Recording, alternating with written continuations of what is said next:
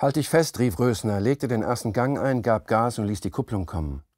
Der Motor heulte auf und die Maschine, eine hellblaue Honda CX500, deren Lenkradschloss er mit einem kräftigen Ruck problemlos geknackt hatte, schoss über den Bordstein. Im selben Moment spürte er den Druck von Degowskis Händen an seinem Bauch. Der Fahrtwind blies ihm ins Gesicht und wirbelte seine strähnigen braunen Haare hinauf in die hohe Stirn. Er spürte den Widerstand der Luft an seiner Brust, ähnlich wie damals, wenn er sich als Junge im Hallenbad an der Bottropper Straße ins Wasser gestürzt hatte und das Element gegen seinen beherzt nach vorne dringenden Körper geprallt war. Ja, brüllte er in den Fahrtwind und steigerte die Geschwindigkeit, berauscht von der Kraft der Maschine, die ihn wie auf einer reißenden Welle dahintrug. Er nahm die langgezogene Kurve der Sandstraße und lehnte sich hinein. Plötzlich ging ein unerklärlicher Ruck durch das Hinterrad, weil Legowski, statt sich hineinzulegen, sich aus der Kurve gestemmt hatte und die Maschine nach rechts ausbrach. Es war, als würde ihn der Boden unter den Rädern weggezogen.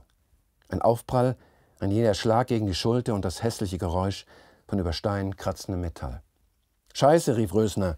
Die Honda blieb liegen und ging aus. Degowski brach in schallendes Gelächter aus. Du Arsch, rief Rösner am Boden liegend. Zu blöd, um Moped zu fahren, was?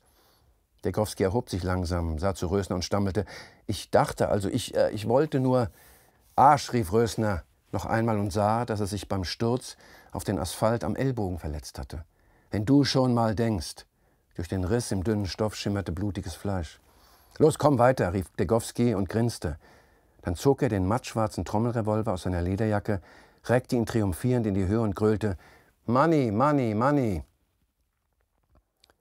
Als sie im Einkaufszentrum in der Schwächerter Straße ankamen und mit gezückten Waffen das Bankgebäude betraten, lief in dem kleinen Transistorradio, das Reinhard Albeck jeden Morgen als erstes andrehte, der Werbeblock auf WDR 2. Es war 7.56 Uhr. Andrea Brandzke hatte eben die Eingangstür aufgeschlossen. Die umstehenden Bäume mit ihrem dichten Blattwerk filterten das Licht, das grünlich in den Schalterraum fiel. Überfall! Hände hoch, rief Rösner und ging auf die holzverkleideten Schalter zu. Während er seine Waffe auf den Mann hinter dem Schalter gerichtet hielt, der ihn erstaunt ansah, musste er daran denken, was sein Vater gebrüllt hatte, als ihn mal wieder mit dem Gummischlauch verprügelte, weil er wie so oft beim Clown erwischt worden war. Verfluchter Verbrecher! Wärst du mal lieber verreckt bei deiner Geburt. Ein Grinsen zog über Rösners bärtiges Gesicht. Du da darüber, rief Degowski der Frau zu, die reglos neben ihrem Kollegen stand. Zu diesem Zeitpunkt, kurz vor acht, befanden sich nur die beiden Angestellten in der Bank. Was sie wollten, war Geld, schnelles Geld, rein, raus und weg und keine langen Geschichten. Das Geld ja, na los, mach schon, oder bist du total bestusst, rief Degowski, dem alles nicht schnell genug ging. Mit dem Revolver in der ausgestreckten, leicht zitternden Hand trat er auf die immer noch reglose Andrea Brandzke zu. Er war nervös und sah, dass sie sah, dass er zitterte. Mach, was mein Kumpel sagt, rief Rösner und sah sich nach allen Seiten um. Der ist nämlich brandgefährlich und schießt, wenn es ihm zu bunt wird.